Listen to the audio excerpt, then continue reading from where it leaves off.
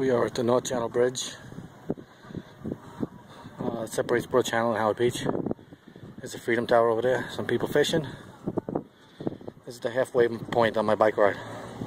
About two, two and a half, maybe three miles away from home. Some people fishing over here.